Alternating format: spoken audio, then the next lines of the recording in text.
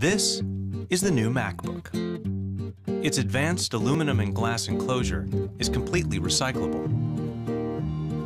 It's engineered to be so efficient, it runs on a quarter of the power of a single light bulb.